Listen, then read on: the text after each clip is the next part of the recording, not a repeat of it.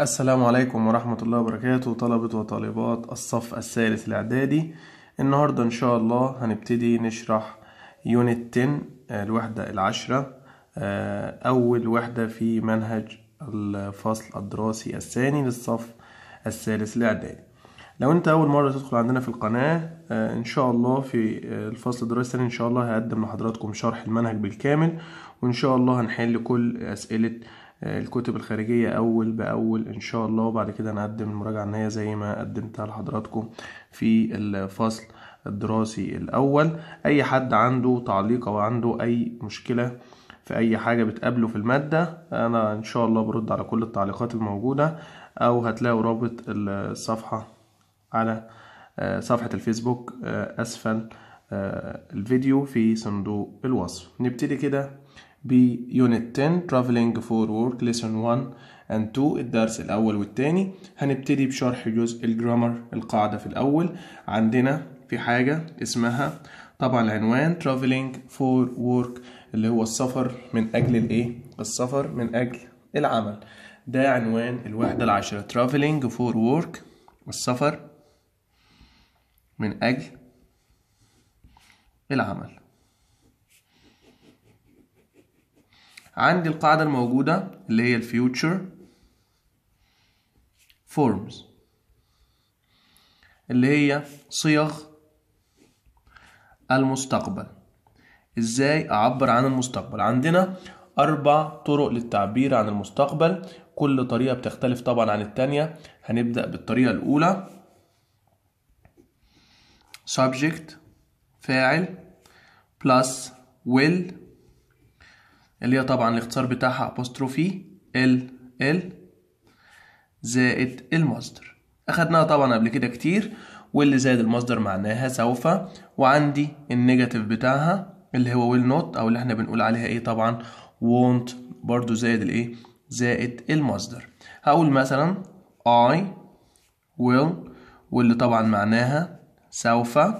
buy a new جاكيت أنا سوف أشتري جاكيت جديد.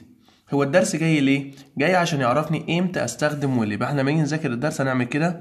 استخدامات will. أول استخدام ل will quick decision اللي إحنا بنقول عليه قرار سريع. أي جملة فيها قرار سريع هنستخدم will. يعني مثلا هقول It's cold here. الجو هنا برد. يبقى أنا لازم أخد قرار سريع مش هينفع. أستنى. I will مثلا close or shut. Shut يعني يغلق. The window. الجملة دي اسمها quick decision يعني قرار سريع. مثلا I am hungry. أنا جعان. I will eat a sandwich.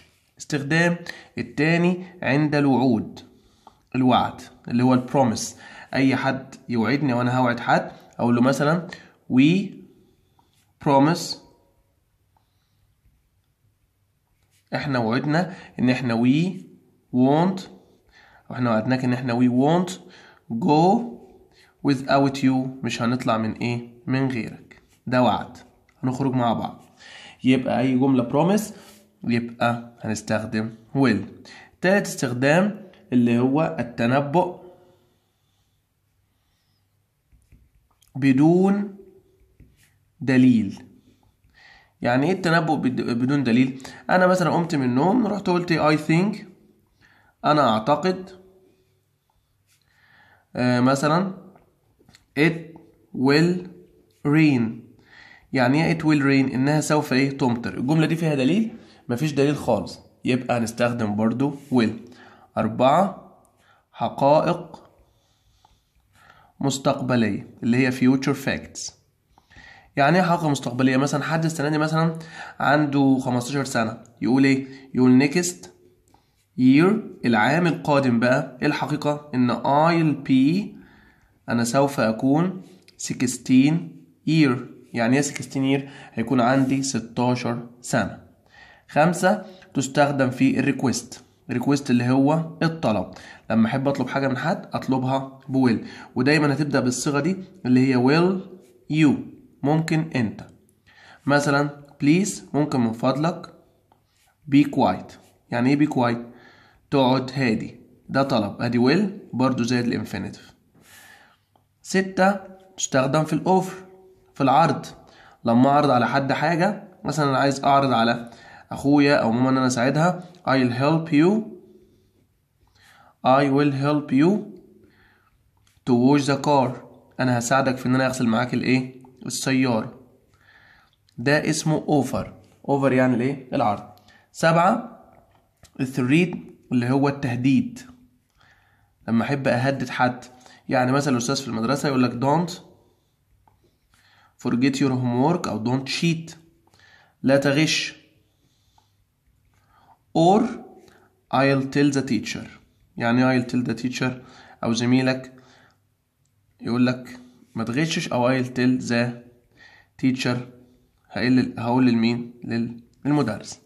تمام؟ الاستخدام الثامن اللي هو طبعا حالة اف الأولى اللي هي طبعا اللي هي الحالة الأولى بتقف بتقول مضارع بسيط مستقبل بسيط. يعني هقول if if it rains لو أمطرت I will stay home. تمام؟ وطبعا هناك بعض الكلمات التي تستخدم مع will في كلمات كده مشهورة بتيجي مع will دايما اللي هي مثلا كلمة hope يأمل أو يتمنى كلمة think يعتقد. hope think. عندنا كلمة promise اللي هي يعد. عندنا كلمة predict يتنبأ. عندنا كلمة expect اللي هي إيه؟ يتوقع. يتوقع. يتنبأ يعد أو يوعد يفكر يأمل. طيب أنا في الامتحان في امتحان ال English إزاي هشتغل على will هو الشغل إزاي هيبقى على will هيبقى على will لو أنا في ال choose الجملة لقيتها قرار سريع لقيتها وعد لقيتها تنبؤ حقيقه مستقبلية طلب عرض تهديد حالة if الأولى على طول يبقى أنا ده استخدامات مين؟ استخدامات will يبقى أنا هشتغل على مين؟ على كلمة ويل هندخل على الصيغة الثانية بعد ويل بتعبر عن المستقبل اللي هي am و is و are going to زائد الايه زائد المصدر يبقى الصيغة التانية. Subject طبعا فاعل. am أو is أو are زائد going to زائد المصدر برضو going to معناها سوف. طبعا ده زي ما إحنا شرحنا إمتى نستخدم am و is و are going to أول استخدام مستقبل مبني أو تنبؤ مبني على دليل. يبقى دي أول فرق بين will و going to ان going إن will مستقبل غير مبني على دليل. إنما مع am و is و are going to لما الجملة طبعا يكون فيها دليل. يعني مثلا أقول I can see أنا ارى the dark clouds clouds يعني إيه سحب in the sky أنا أرى سحب فين؟ في السماء يبقى it أقول it will rain ولا it's going to rain طبعا تبقى it's going to rain يعني إيه it's going to rain إنها سوف سوف إيه طبعا؟ سوف تمطر. ليه قلنا going to ما قلناش will عشان السحب دي تعتبر evidence يعني تعتبر دليل. تاني استخدام اللي هو طبعا النية لما يكون في نية أو في خطة مستقبلية أو لما تكون أنت مقرر عندك قرار. كلمة ينوي يعني intend. ونية يعني intention وخطة يعني plan ويخطط يعني plan. وقرار يعني decision ويقرر يعني decide. ناخد بالنا من التلات كلمات دول علشان سؤال اللي تشوز كلمة intend كلمة plan كلمة decide. يعني مثلا هقول I am going to visit my uncle. أنا هزور مين؟ هزور عمي. This is my plan. يعني إيه this is my plan هذه my plan يعني هذه إيه خطتي. يبقى ناخد بالنا من التلات كلمات دول اللي هي كلمة intent وكلمة plan وكلمة decide والنون بتاعهم طبعا intention وكلمة plan وكلمة decision decision اللي هو الإيه؟ القرار. تالت استخدام والأخير لمين؟ ل going to اللي هو طبعا أشياء أو أحداث على وشك الوقوع يعني يعني حاجات قربت تحصل. وخاصة مع الكلمات اللي هكتبها دي look out يعني احترس أو be careful كن حذر أو watch out. لو شوفنا دول في تشوز ما نفكرش. على طول am with are going to. هد مثال look out the boy الولد is going to fall down. الولد سوف إيه يا جماعة؟ Fall down يعني سوف يسقط. ده طبعا يعني على وشك الحدوث علشان كلمة look out أو be careful أو watch out. هدخل على فرق بسيط بين will و going to ناس كتير بتتلخبط فيه أو بتغلط فيه في الامتحان. نشوفه كده مع بعض. هقول كده he is fast. He نقط win. win طبعا يعني يفوز ده ريس. السباق. يا ترى will ولا is going to جملة تاني he runs fast. he win the race. السباق. Will ولا is going to. لما نيجي نبص على الجملتين دول كويس مع بعض هنلاقي مفيش فرق بين الجملة الأولى والتانية غير هنا is fast وهنا runs fast هنا طبعا هيفوز بالسباق. الأولى هنختار will وهنقول ليه والتانية نختار is going to. في الأولى بيقول لي إيه؟ هنا الجملة دي ما فيهاش verb هنا فيها صفة. He is fast أما نصفه إن هو سريع. بيقول لي الصفات أو السمات الشخصية ليست دليل. يعني دي هو سريع مش دليل إن هو يكسب. أما هنا بقى رن رن يعني يجري فعل. الأفعال تعتبر دليل. ناخد بالنا من الجمل دي. يبقى الصفات الشخصية مش دليل إنما الأفعال يجري بسرعة. ده فعل هو بيقوم بيه الآن. يبقى السمات الشخصية مش دليل إنما الأفعال تعتبر دليل. هندخل على الصيغة التالتة للتعبير عن المستقبل. الصيغة التالتة معانا للتعبير عن المستقبل تالت صيغة اللي هو طبعا ال present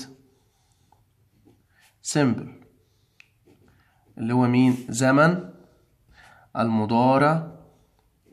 البسيط. ودي طبعا غريبة شوية المضارع البسيط بيعبر عن المستقبل إزاي؟ هو المضارع البسيط أصلا اللي مش فاكره اللي هو بإضافة s أو es أو ies مع المفرد ومع الجمع الفعل بدون أي إضافة يعني فين؟ في المصدر إمتى المضارع البسيط يعبر عن المستقبل؟ هو استخدام واحد بس. طبعا نكتب كده أهو مع جداول آه المواعيد سواء كانت قطارات يعني مواعيد القطارات طائرات سينما مسرح آه مواعيد دراسة. يبقى أي جداول مواعيد هنستخدم مضارع بسيط. وخاصة والكلام ده كله بيجي مع بعض الأفعال. في أفعال مشهورة على طول. يصل arrive يغادر leave تقلع للطائرة دايما take off تهبط land يبدأ start ينهي finish. الأفعال دي على طول بتيجي present simple.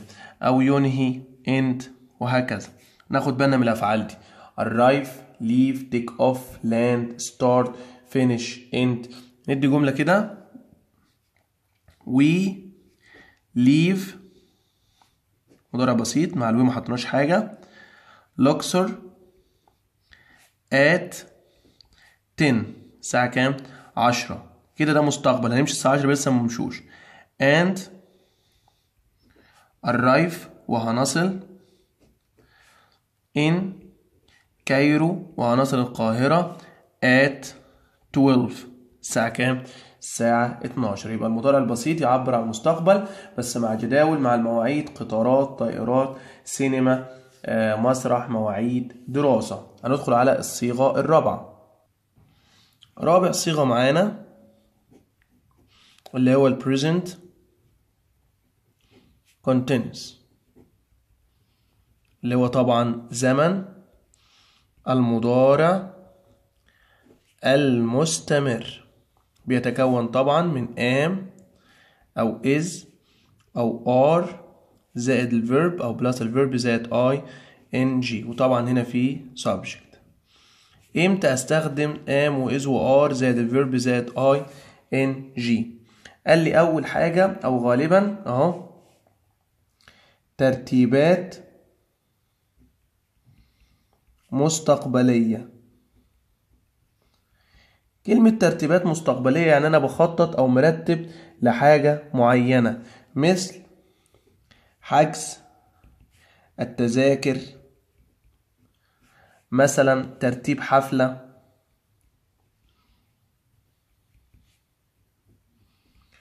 وغالبا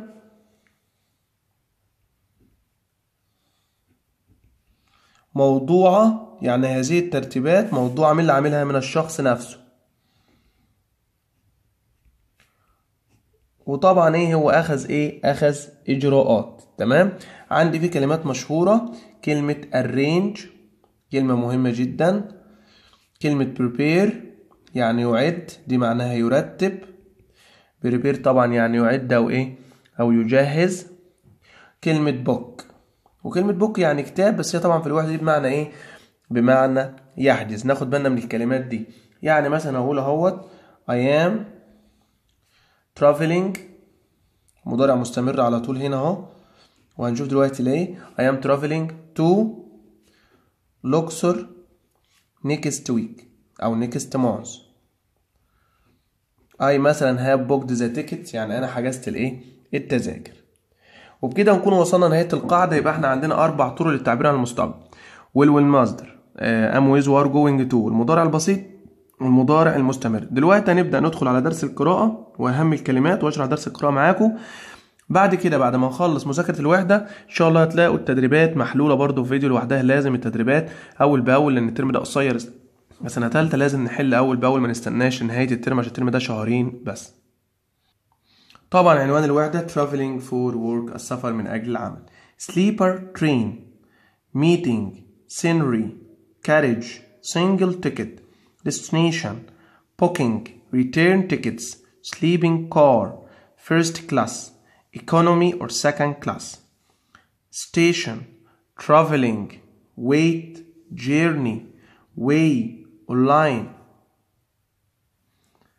Future event timetable prepare neighbors final prediction predict reality comfortable assistant description mountains rivers natural event restaurant carriage discuss later hotel room call arrange midday decisions promise Cairo Alexandria Luxor Port Said Suez أسوان أهم الأفعال الشاذة leave left left put down put down put down wake up woke up woken up mean meant meant choose chose chosen. Busy empty leave arrive stop go. On a sleeper train have the same opinion. At Cairo station take the sleeper train to a great way to part of stop at leave at it's fun. In 10 minutes on its way to arrange for do a journey a good night's sleep have or has a meeting book online put down the bids prepare for make a decision make a promise make a prediction based on on timetable do a test spend spend a lot of money at the front of the train arrive on time take time move to درس القراءة أول درس في الفصل الدراسي الثاني عبارة عن إيميل اللي بعته طارق لصاحبه مين؟ لزميله علي. بيقول له طبعا مين؟ to علي الموضوع my train journey يبقى رحلتي بالترين يعني إيه ترين رحلتي بالإيه؟ رحلتي بالقطار. At the moment في هذه اللحظة I am at Cairo station. طارق بيقول أنا في محطة القاهرة with my father. يبقى دلوقتي عندنا طارق اللي هو بعت لعلي هو حاليا في محطة القاهرة. We are taking the sleeper train. إحنا واخدين قطار اسمه قطار النوم قطر النوم. To أسوان tonight. ورايحين أسوان. يبقى هما يروحوا من القاهرة لأسوان في قطار النوم. ليه طيب السبب؟ He has a meeting. أبو طارق عنده اجتماع. There tomorrow. And he has asked me to go with him. وقال لي تعالى روح معي the train leaves at 7 o'clock. مضارع بسيط بيعبر عن المستقبل. عشان ده مواعيد قطارات. There are lots of other people who are waiting too لقينا ناس كتيرة جدا في المحطة so the train is going to be busy يبقى واضح ان القطار هيكون busy الفقرة التانية Traveling by train is a great way أجمل حاجة في السفر بالقطار to see the scenery المناظر الطبيعية of a country بتاعة البلد I have been on this journey before دي مش أول مرة أنا سافرت قبل كده The beds are very comfortable السراير comfortable يعني مريحة I know that we are going to arrive at our destination إن إحنا هنوصل جهة الوصول بتاعتنا اللي هي أسوان after a good night's sleep بعد نوم جيد في القطار هننام Booking tickets is easy كلمة book بمعنى يحجز حجز التذاكر سهل You can book online or buy tickets at station يا إما عن طريق النت يا إما من خلال المحطة My father bought us return tickets وفي فرق بين return tickets و single ticket single يعني ذهاب بس return يعني ذهاب وعودة. From Cairo to أسوان We usually go on the first class. إحنا بنركب الدرجة الأولى. إشمعنى طبعا الدرجة الأولى؟ Because it's more comfortable than economy or second class لأنها أريح هي طبعا أغلى. أريح من الدرجة الاقتصادية. Economy يعني اقتصادي أو اللي إحنا بنسميها الدرجة الكام؟ التانية. The journey takes about 13 hours. القطار هياخد تقريبا 13 ساعة.